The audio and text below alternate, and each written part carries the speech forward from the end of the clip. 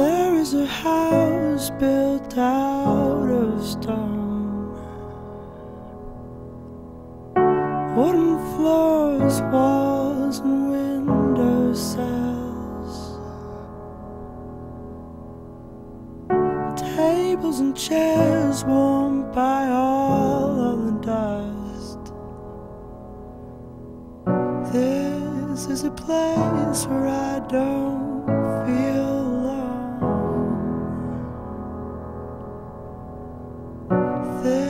This is a place where I feel